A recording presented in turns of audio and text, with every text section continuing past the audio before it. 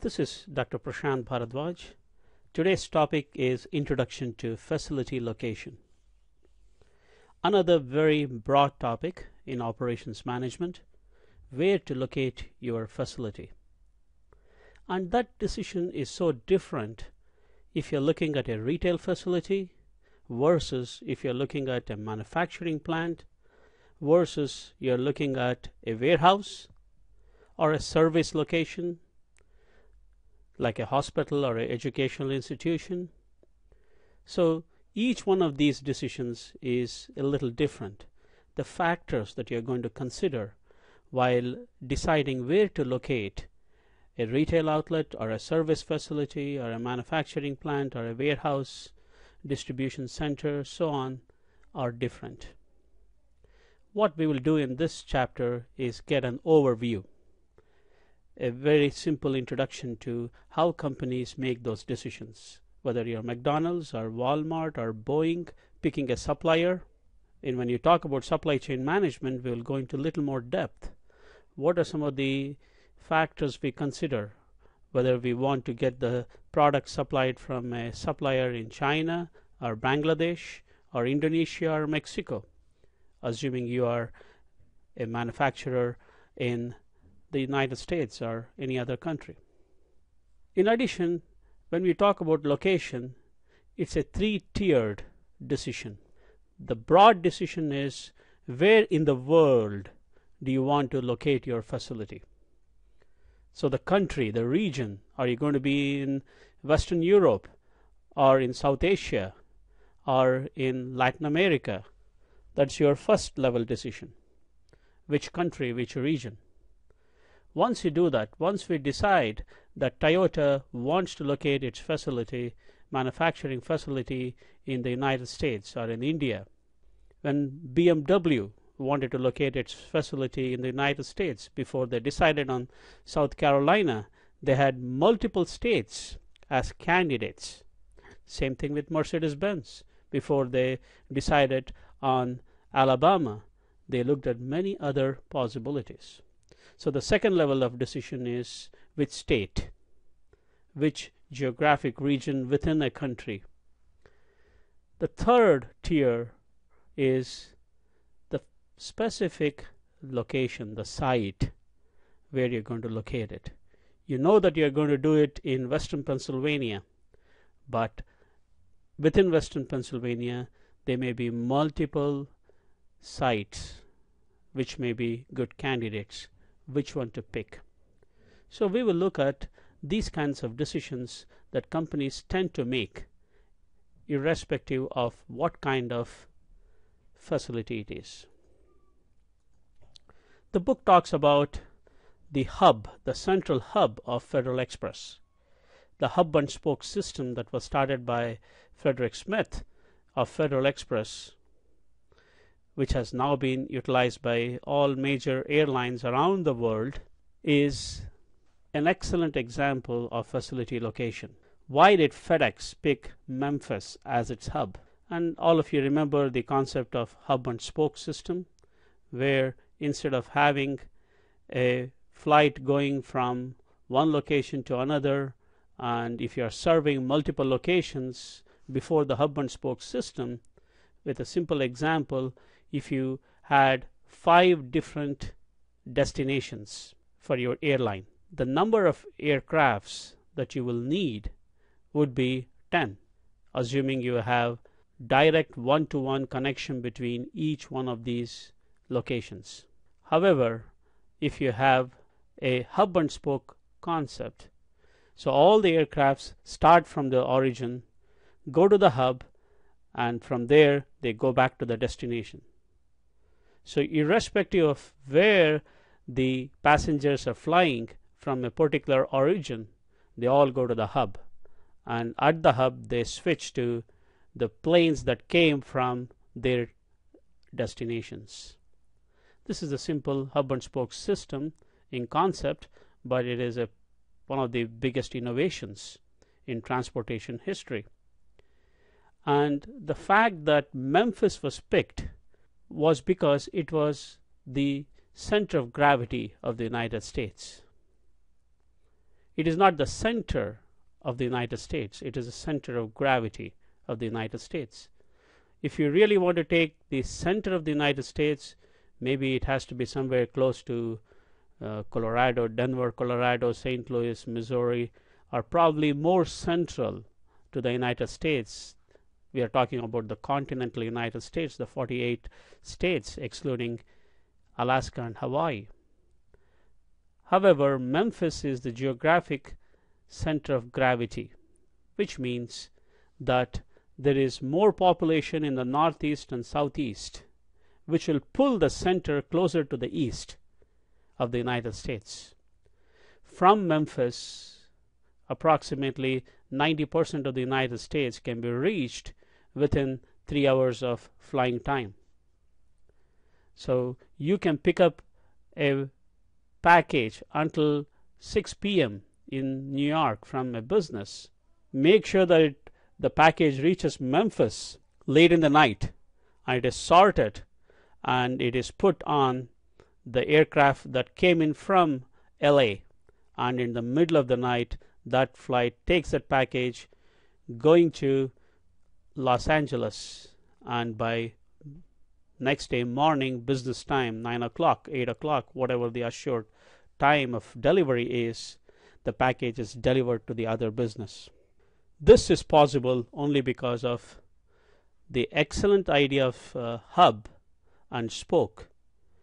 But in addition the idea of picking Memphis which is the center of gravity of course there were other reasons for Memphis. Memphis is one of those airports within the United States which is closed for the fewest number of days or where the service is interrupted for very few days.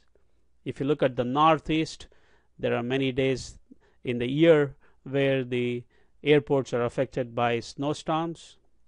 If you look at southeast you will see many of the airports affected by hurricanes and some other parts of the country. In the middle you have tornadoes. Some other parts you have floods on and on. Whereas Memphis is slightly below the snow belt. There were other factors too. Memphis airport was underutilized. Chapter what are some of the factors that are utilized in laying in locating a facility similar to what FedEx did in locating their major central hub. Location is definitely one of the most important decisions a firm makes, increasingly global in nature, obviously, because today you're not restricted to a region or a country. It significantly impacts both fixed and variable costs. Fixed costs like land and variable costs like labor, utilities, so on. And this decision is made quite infrequently. In many cases, a one time decision for 20, 30, 50 years, you don't make changes. What is the objective in locating a facility optimally? To maximize the benefit of that location to the firm. Location decisions are based on low cost, require careful consideration.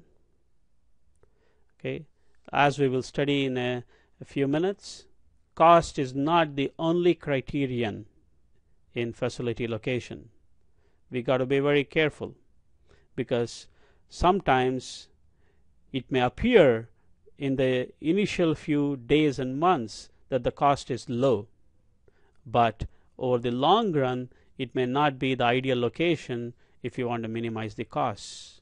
We will see some examples of that. Once in place, location related costs are fixed and difficult to reduce.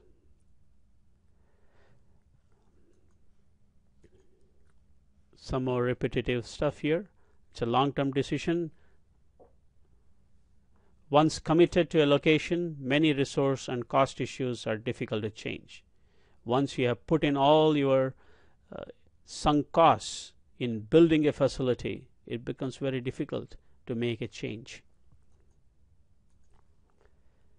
As I said, the first level of decisions is at the country level. some of the decisions uh, criteria, some of the criteria that you would look at are critical success factors. What are some of the political risks? If you want to locate your facility in in Venezuela, for example, or you want to locate your facility in China, what are some of the political risks over the long run? Even if it's a democratic country like India, when the government changes, there are possibilities of rules and regulations and policies that may change. Attitude towards companies from certain countries, companies from certain industries may be viewed differently. So you got to be aware of those political uh, risks and government rules. On the other hand, what are some of the incentives? There are countries where they provide incentives for companies to come and locate their facility. What was one of the major reasons that BMW located its facility in South Carolina? They got a $250 million tax break, a big incentive for them to locate there. I will not go through each and every one of these factors. Labor talent is very important. The cost of labor may be low in some countries, but do they have the ability, the talent to make good quality product at low cost, high productivity? All of these are important. Availability of raw materials, supplies, communication, energy, very important. There are countries where you do not have the electricity and energy required, or they're too expensive. You have to look at all of these. Or they may not be available in the near future. So you have to look at it from the long term or intermediate term. Exchange rates and currency risks are critical, very important. If the currency is very volatile and if the currency becomes stronger in the international location, then it's going to be very expensive for you to make the product there and export it out of there. So you have to be very careful in deciding which country you want to locate your facility. Many of the companies now trying to leave China because the labor rate in China is increasing slowly. They want to locate to Bangladesh, Vietnam, Sri Lanka, many of these countries, especially if you're talking about textile industry, but you also probably have been following the problems in terms of safety and poor work conditions in Bangladesh. So you have to look at all of these factors before you decide on which country. Then the next level of decision is which region, which community. So, or which state if you're looking at the United States. So here, what you see here is the Midwest, the Great Lakes region if you look back until the 1980s, majority of all the manufacturing activity in the United States took place in the Great Lake region. Michigan, Ohio, Pennsylvania, New York, Illinois, Indiana, all of these. But today, it is much more diversified around the country. You will see manufacturing activity all around the country. That's because labor availability is there. There is the southern part of the United States is more attractive to many people because of the climate. You can pretty much golf 365 days a year if you're a golfer. Whereas if you're in the northern part of the United States, many people like the four different seasons, which is not available in the southern part of the United States. When Boeing moved its headquarters from Seattle. They wanted to be in the center of the country. The three finalists that they had in terms of cities was Denver, Dallas, and Chicago. And one of the reasons that they picked Chicago ultimately is because the executives wanted to be in a location which offered them all kinds of access to airport infrastructure, to good school systems, to entertainment, all those different things that executives look for. Cost and availability of utilities is very important. Environmental regulations are critical. They change from country to country, from state to state, from region to region. Proximity to raw materials and customers, also very important. Pittsburgh, if you look at the city that is closest to us at IUP, you know that Pittsburgh used to be one of the top five cities in the United States in 1900 because of its steel making power. And steel, in addition, the topography of Pittsburgh was very useful at the time because right from Pittsburgh on River Allegheny to River Ohio to River Mississippi, you could reach pretty much the entire country. You could transport steel and any other goods. But today, since that mode of transportation is not that critical, Pittsburgh is not even in the top 15 or 20 cities in the country. It has done other things to revive. It has focused on light manufacturing, it has focused on healthcare, it has focused on energy and other areas, and there is a renaissance in Pittsburgh. But the economy is not based on what was there in 1900s. The third tier or level of decision is the specific site. Once you have decided that you want to be in the region of Indianapolis, the state of Indiana, then you want to look at zoning restrictions, the site size. You want to have a five acre plot to locate your facility. So you want to see what is the appropriate place. The proximity to highway systems. If you're manufacturing something and immediately want to make sure that it reaches the distribution centers or the retail outlets, you want to be close to the highway system. If you're a Walmart distribution center, look at any Walmart, Kmart distribution center. They're usually at the intersection of major interstates for obvious reasons. Proximity of services, supplies needed. If you're locating a manufacturing facility, you'll be more interested in minimizing the cost. Whereas if you're looking at a retail facility, you'll be looking at maximizing revenues. So you want to look at a nice facility where you can draw customers. Whereas if you are a manufacturing plant, you don't need to worry about customers coming into your facility. You are worried about making the product at the lowest cost, having the least environmental impact. So there are three levels of decisions as you see in locating a facility. And there are slightly different factors you look at at each level. Going into a little more depth here on some of the factors, labor productivity. The key word here is not labor cost, it is labor productivity. So wage rates are not the only cost.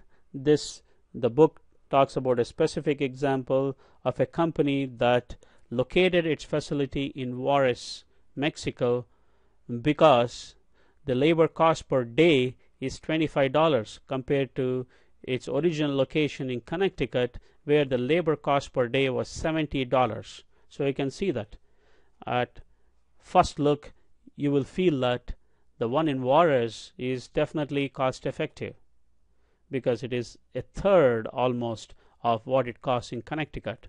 But look at the number of units that are produced by the workforce in Connecticut versus Juarez, Mexico. In Connecticut, they were able to produce 60 units per day, whereas in Juarez they were able to produce only 20 units per day. Now look at the per unit cost $1.17, $1.25. So, in this extreme example, where you clearly see that staying back in Connecticut is better than making it in Juarez, which is going to cost you per unit more, although the labor rate per day or per hour is nearly a third of what it is in Connecticut. even if this case is not true, even if it cost $1.17 in Connecticut and 50 cents in Juarez, you may still want to go further and explore whether it is worth taking your facility to Juarez. If your entire customer base is in northeastern United States, it may still be worthwhile to produce it, produce it in Connecticut because of the transportation costs, because of the setup costs in locating the facility in Juarez. So the point I'm trying to make here is the decision to move from Connecticut to Juarez in this example should not be based only on labor cost. It is much more in depth. Exchange rates and currency risks we talked about that briefly. Tangible costs such as utilities, labor, materials, taxes. Intangible costs like public transportation, quality of life. Many executives want to be in a location where there is a professional football team, where there is access to an opera house, where there is access to Broadway music where there is access to theater and so on. You want to live in a nice school district that will help your kids if you're looking at public schools. So these are intangible costs. You have to look at both the tangible and the intangible costs. Location decision based on costs alone can create difficult ethical situations also because when you are moving your facility from one location to another solely based on cost, you are uprooting many jobs. Of course, there are many companies who are doing that on a daily basis. But if your entire customer base is in the location where your original facility was, it creates a difficult ethical situation. We'll discuss that more because this is a common question. Should we locate our facility within the United States or should we locate it in an Asian country or a Latin American country assuming you're a US company? And there's always that discussion about how majority of what we see in Walmart is made in China Walmart's business is coming from the people living in that region but majority of the products are coming from an offshore location. So what are some of the ethical dilemmas involved in that? Apple, a company which sells its products in the United States and all over the world, sometimes gets criticized for not creating as much jobs in the United States as it is in other parts of the world. So it is a difficult ethical dilemma. Does Apple not want to make their products in the US? Obviously, they would want to, but the cost to the customer will be exorbitant. Does Walmart want to sell products that are made in the US? Yes, they would love to. But how many takers would they have for those more expensive products?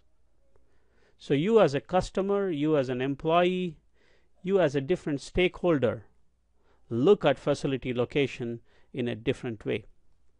So there are many ethical dilemmas involved in facility location. Political risks, we talked about that briefly. So you have to be very careful about uh, different countries whenever you want to locate facility in a new country. You want to look at the unionization, the attitudes of workers over absenteeism, punctuality, legal and ethical issues. All of these are important. Proximity to markets, important, especially for service industry. Proximity to suppliers, that's one of the hallmarks of just-in-time systems. If you look at uh, Toyota in Toyota City, you will see all the major suppliers are right next to the Toyota assembly plants, making it very easy for Toyota to get their products supplied as and when required. proximity to competition, which is also called clustering. It is companies cluster around because of availability of natural resources, availability of capital, availability of talent, and you will see many examples of clustering.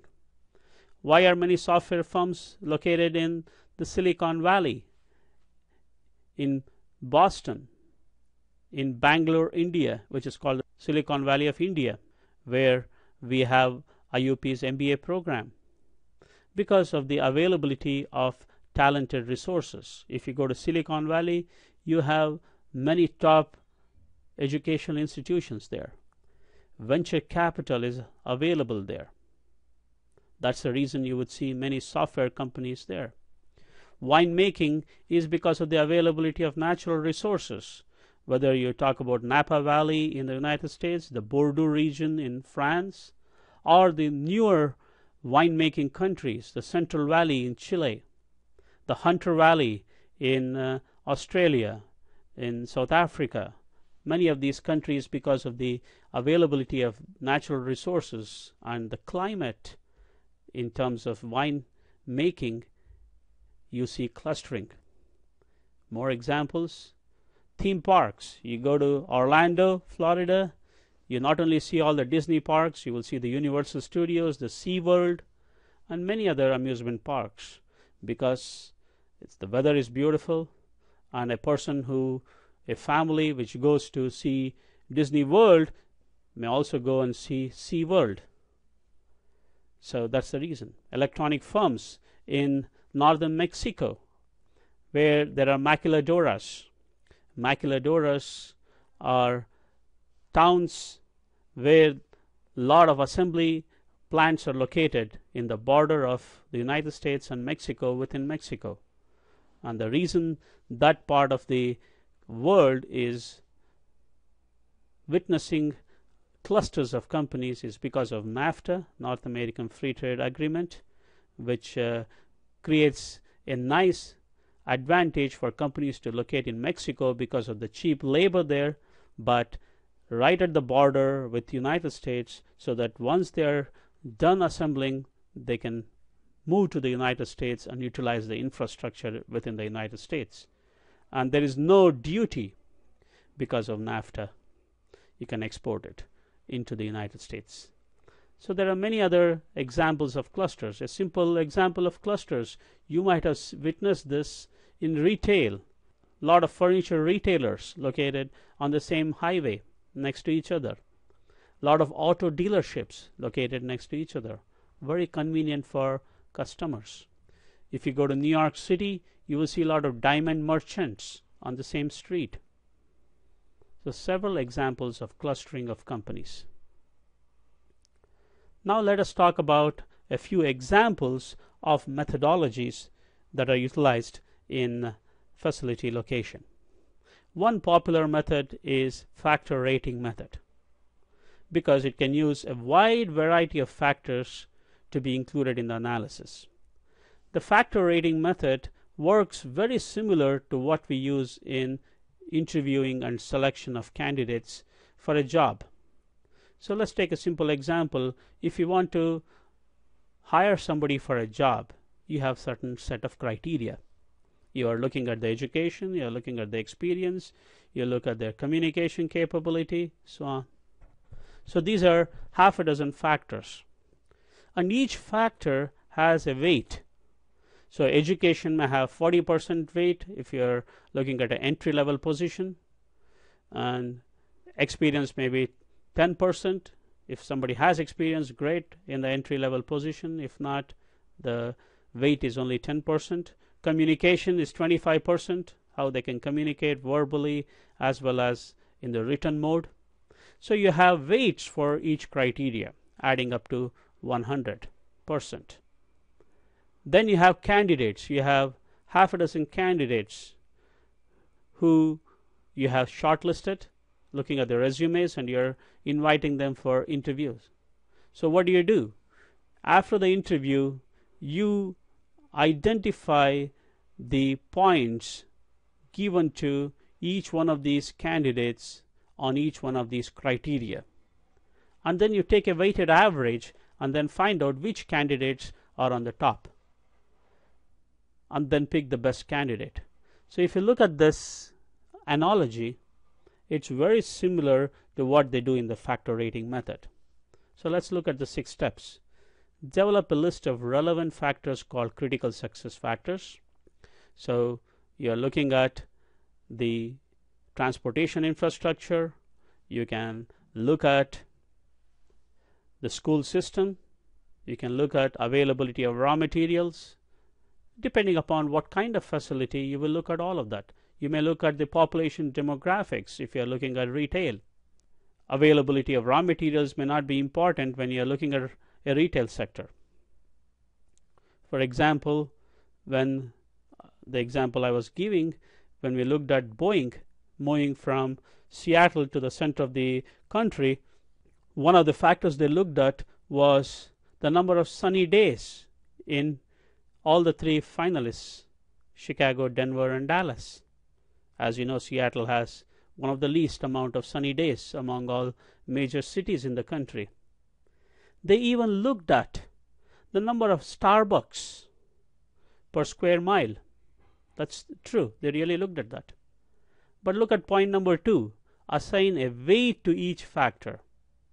So in the case of Boeing, the weight given to number of Starbucks is minimal, negligible. Whereas the weight given to the airport infrastructure was very high because we are talking about not manufacturing workers, we are talking about moving only the headquarters. Boeing still has its manufacturing assembly facility in Seattle. What they moved 10 years back was the headquarters. The top executives were the only ones who moved. So the access to good air travel is critical. So if you look at Chicago, look at Dallas, look at Denver, they're major hubs, especially Dallas, which is the major hub for American Airlines. And if you look at Chicago, Chicago has United and American. So very important. You give weights to each factor. Develop a scale for each factor so 1 to 5, 1 to 10, 1 to 3, you have a scale. So that you can rate each candidate location. Score each location for each factor. Multiply scores by weights for each factor. Recommend the location with the highest point score. Now the key word there in point number 6 is recommend, not choose. Because as I will say all the time, all the quantitative techniques are going to do is provide you a starting solution, not the final solution. So here, sometimes the candidate which gets the highest point score may not be the one that is finally picked because there may be other qualitative factors that may come into play. In the case of Boeing, the grapevine says that the ultimate decision to go to Chicago was because they were behind the scenes strings pulled by the then Speaker of the U.S. House of Representatives, Mr. Dennis Hastert. So you never know. I mean, that is a that's a theory that that happened, but even if that is not the case, the point I'm trying to make is there are some qualitative approaches taken after the quantitative scoring is completed. So the factor rating method is very good method when you're trying to locate a headquarters, an office, a manufacturing plant. The examples I gave earlier, Toyota manufacturing plants in the United States, BMW, Mercedes, all of them use the factor rating method to shortlist the finalists and from that pick the best location. Location break-even analysis. Everybody is familiar with break-even analysis where the two things you're looking at is the cost volume.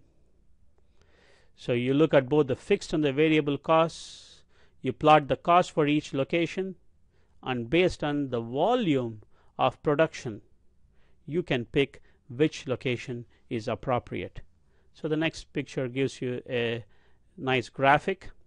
there are three different locations here Akron, Bowling Green, and Chicago. So, which is the best location? So, if you look at these three graphs here, lines, Akron with the green line has the lowest fixed cost of 30,000, whereas Bowling Green has the next higher fixed cost of 60,000, and Chicago has the highest fixed cost, as you can imagine, a big city. So all the costs will be higher fixed cost. It's 110,000. So if the volume is less, you would obviously not go to Chicago because you're incurring 110,000 because the Akron cost is only 30,000 fixed cost. But we are also going to look at the volume now. If the for you to look at the volume, then you have to look at the variable cost.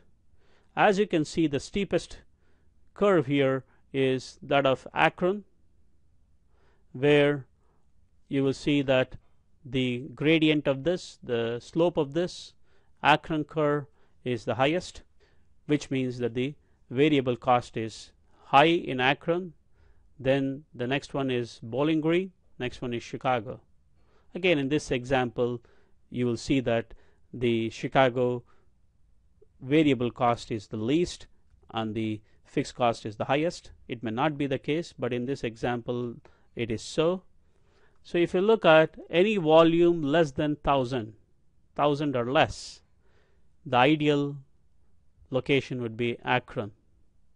So if you look at this, the green line is below the blue and the purple lines, which means Akron cost curve is the best if the volume is 1000 or less. If the volume is above 2500, you will see that the lowest cost is the purple line, which is Chicago. So if you know that we are going to produce more than 2500, automatically Chicago is my ideal location. If I'm producing between 1000 and 2500, the blue line corresponding to Bowling Green would be the ideal location. So the break-even analysis will look at both the fixed and the variable cost, draw the graph corresponding to the fixed and the variable. Subsequently, it will look at the volume. If we know that the production volume is a specific amount, then you can drop down the lines corresponding to these volumes and then check which one is the ideal location. So the break-even points here are 1000 and 2500 in this example. The other method that I had mentioned earlier is the center of gravity method. This method is ideal when you're looking at locating a Walmart distribution center or a Target distribution center. So a typical Walmart distribution center can distribute the products to a hundred retail facilities of Walmart. So you can imagine how big they are. So where do you locate this particular distribution center which is shipping products to 100 different Walmarts? It has to be at the center of gravity. When we say center of gravity, we are not looking at the geographic center.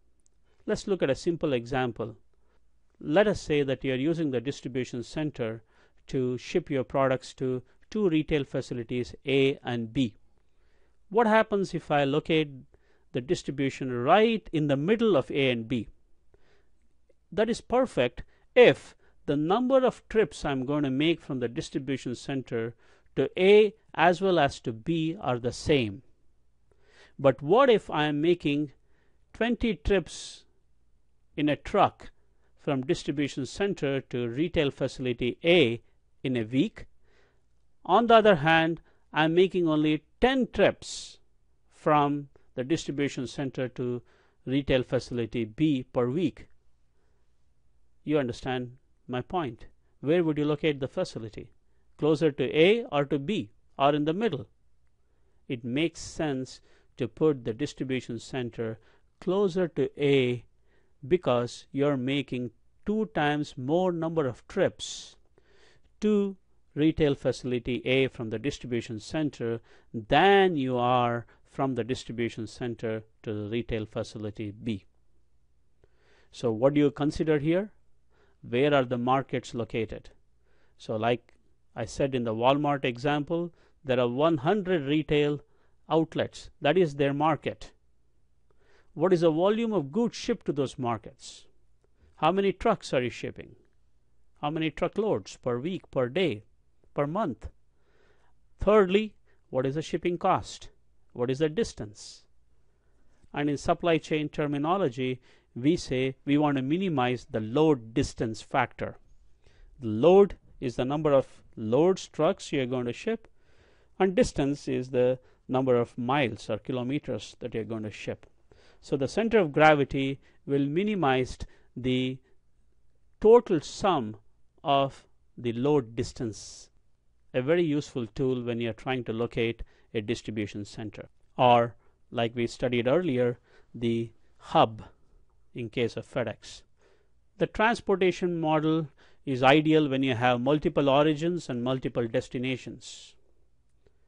If you're extracting crude oil in half a dozen countries around the world and shipping that crude oil to different refineries around the world, and from those refineries you're shipping oil to different destinations, the transportation model will be ideal, where you are going to decide from which refinery are you going to ship to which different destinations? From which area are you going to take the crude oil to which refineries? How much? You may be taking from the same refinery to multiple destinations. So a transportation model is ideal to minimize, to optimize the production and shipping costs. It's a special case of linear programming problems, linear programming which you might remember from uh, from quantitative models or decision analysis. So we will not discuss that uh, in this uh, class. I hope you remember how to solve linear programs.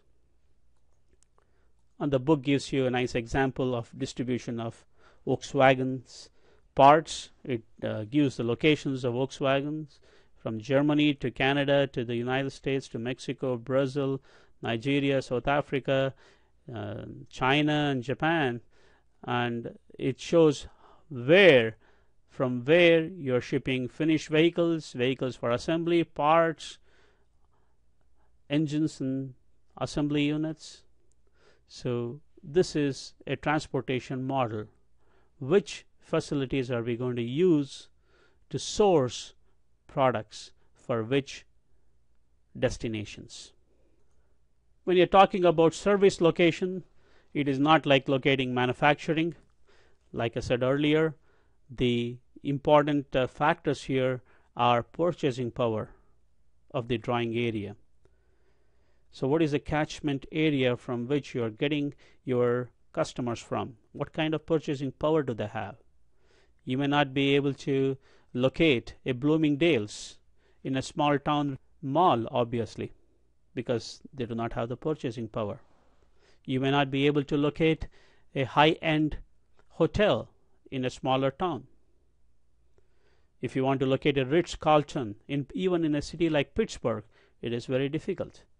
So you got to look at the purchasing power, service and image compatibility of the area, what kind of competition, what kind of uh, uniqueness that the firms and the competitors' locations provide, the quality of management that is available. And this picture gives you a nice distinction between manufacturing companies, goods producing companies. When they locate their facilities, their major focus is minimize cost, minimize cost. Whereas when you are locating a service, retail, or a professional facility, the focus is not minimizing cost, it is about maximizing revenue. Not that cost reduction is not an issue there, it is important, but more important is maximizing revenue. Yeah, there are a lot of uh, different factors, and here there are some specific techniques that are provided.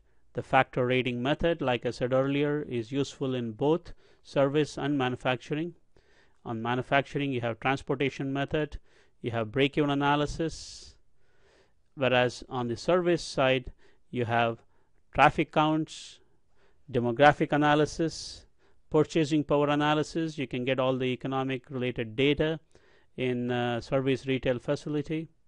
Center of gravity method that we talked about.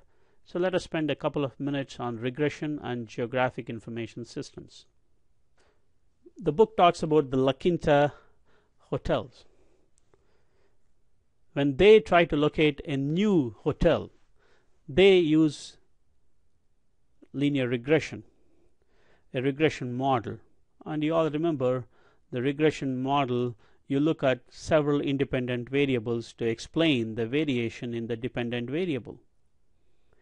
Now, the lower the number of independent variables that can clearly explain the variation in the dependent variable, the better the model. And La Quinta started with 35 independent variables if all of these independent variables had to be taken into account while deciding to locate a facility or not, it would be very difficult to get that accurate data and use that data in the analysis. But look at their final model. Their final model had only four variables with r squared of 51.51. That is 51% of the profitability of locating a specific hotel in a location was predicted by just four variables. What are the variables? What is the price that they charge at the end? Median income levels in the region, easy to obtain the data. State population per inn, you can easily find out that population, whether it's Pennsylvania or California or Maine. And the last variable is interesting location of nearby colleges. How many colleges? So you can imagine the impact of colleges on the hotel industry. So just using these four variables, they can predict the profitability of locating a new hotel or an existing hotel. So another way of identifying the location of facilities or the profitability of existing facility. The call center industry which has become so prominent in the last two decades. Originally, there was a move to have all the call centers in the Midwest region, in Iowa, in South Dakota, and so on in the United States. But today, the call center industry is very well known in the United States and Western Europe. Majority of the English speaking call centers are located in India, many in Philippines, the reason is the ability many of the people in these countries to speak the language. It requires no face to face contact or movement of materials. Many of the traditional variables are not at all relevant. All you require is availability of capable labor. That's it. Geographic information systems. A simple example of the GIS is all of you have used GPS when you're traveling and when you're looking at the GPS you can also have features on the GPS which can tell you exactly where the gas station is where there is a hotel where there is a McDonald's where there is a toll on and all. A GIS is a multi-level GPS it can provide you databases that include complete census data of the region all kind of demographic data, all kind of economic data. It can give you complete data about the utilities available, all kind of geographic features, the topography of the region, and location of major services. So what is the use of this GIS system? A manager who is trying to identify a particular site for their for, for their facility to be located, for the restaurant to be located. They can look at all of this data, the census data, geographic features, location of other major services, and make a quick decision on where to locate their facility. So, what we have discussed in this specific module is what are some of the factors that are utilized in locating a facility, are three different tiers and a variety of tools that are used to locate a facility. When we talk about supply chain management, we will discuss this in a lot more detail, each one of these tools. Thank you.